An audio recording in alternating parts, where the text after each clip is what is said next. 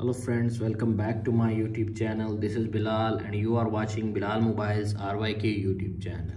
In this video i am going to show you how to update apps on your iphone. So guys without waste your time let's start this video.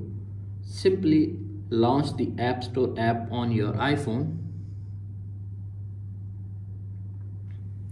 and tap on the profile icon of the top right corner and you can see appears on screen little bit scroll up.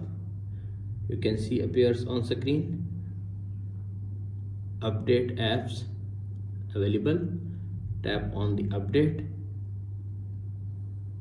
It will take some seconds to wait. You can see appears on screen.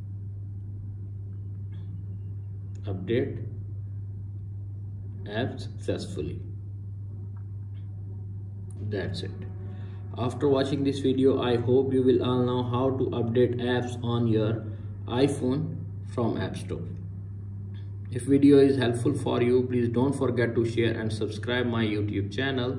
Thanks for watching.